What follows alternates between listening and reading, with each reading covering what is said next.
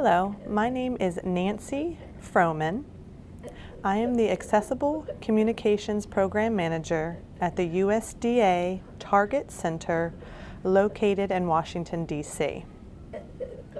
The Accessible Communications Program, also known as ACP, provides accessible communication support services for all USDA employees as well as any visitors with disabilities nationwide. And also for everyone who works with or provides services for them. To achieve and improve effective communication needs, we provide you with assessments, recommendations, resources, training, guidance, and solutions.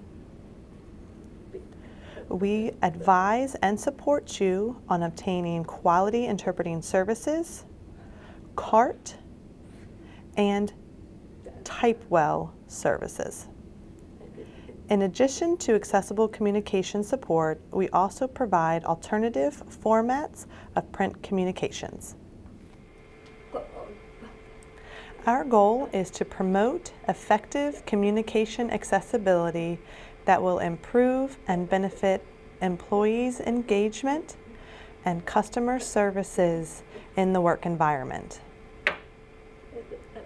If you have any questions about ACP, please feel free to contact us at the website, email, or phone number listed here. ACP is here to support you. We are available and we look forward to collaborating with you. Thank you.